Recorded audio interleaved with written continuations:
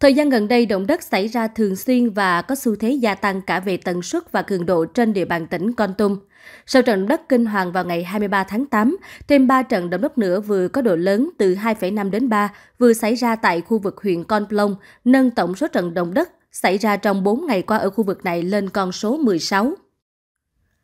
Vào lúc 3 giờ 52 phút 24 giây rạng sáng 27 tháng 8, trận động đất có độ lớn 2,5 xảy ra tại vị trí có tọa độ 14,868 độ Vĩ Bắc, 108,232 độ Kinh Đông. Độ sâu chấn tiêu khoảng 8,1 km trên khu vực huyện Con Plong, tỉnh Con Tum.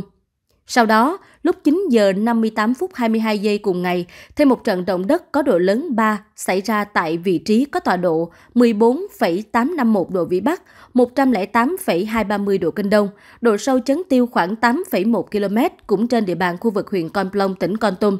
Trận động đất mới nhất xảy ra lúc 12 giờ 39 phút 18 giây trưa 27 tháng 8 tại Con Plong, có độ lớn 2,5 tại vị trí có tọa độ 14,863 độ Vĩ Bắc, 108,238 độ Kinh Đông, độ sâu chấn tiêu khoảng 8,1 km.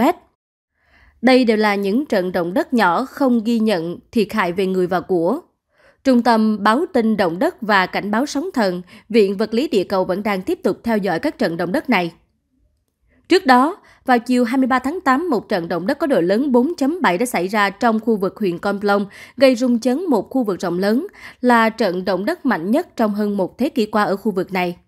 Từ đó đến nay, thêm 15 rung chấn đã được ghi nhận ở khu vực này. Tính từ tháng 4 năm 2021 đến nay, sau khi Thủy Điện Thượng Con Tum tích nước, huyện Con Plong đã ghi nhận hơn 200 trận động đất có độ lớn từ 2,5 đến 4,7, gấp 6 lần số trận động đất xảy ra ở khu vực trong hơn một thế kỷ trước. Các chuyên gia của Viện Vật lý Địa cầu nhận định, động đất tại Com Plong là động đất kích thích do hoạt động của hồ chứa thủy điện tích nước gây áp lực lên hệ thống đứt gãy bên dưới, khiến hoạt động động đất xảy ra sớm hơn.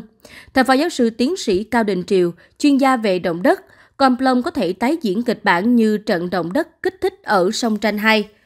Động đất kích thích xảy ra tại sông Tranh 2 bắt đầu từ năm 2012, kéo dài đến nay với hàng trăm trận, từng gây xáo trộn đời sống người dân hai huyện Bắc Trà My và Nam Trà My, tỉnh Quảng Nam trong thời gian dài. Vì vậy, trong nhiều tháng tới hoặc nhiều năm tới, Con Tum vẫn sẽ ghi nhận các trận động đất.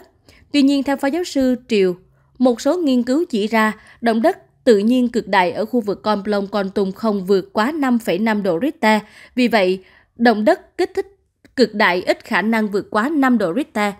Phó giáo sư Triều cũng lưu ý, nền địa chất tại khu vực xảy ra động đất ở Con Plong bị phong hóa khá mạnh, nên người dân cảm nhận được rung chấn khá rõ do động đất gây ra, kèm theo những tiếng nổ trong lòng đất. Thưa quý vị, thông tin vừa rồi cũng đã kết thúc bản tin của chúng tôi ngày hôm nay. Nếu quý vị có bất cứ ý kiến và muốn chia sẻ, hãy để lại ngay dưới phần bình luận cho chúng tôi được biết với nhé. Cảm ơn quý vị và các bạn đã quan tâm theo dõi. Xin chào và hẹn gặp lại.